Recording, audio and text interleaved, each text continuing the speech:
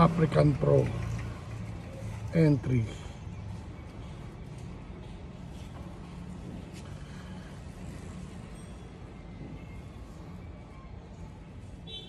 Opaline Cross Justo.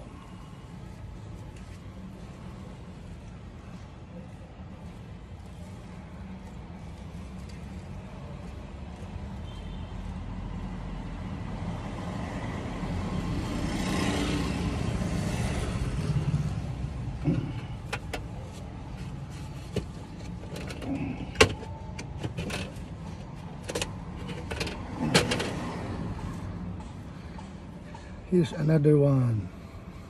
African Pro entry.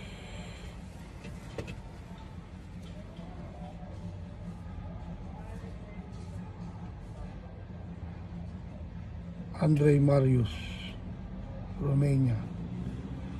Cross. Team Victoria Falls, Zimbabwe.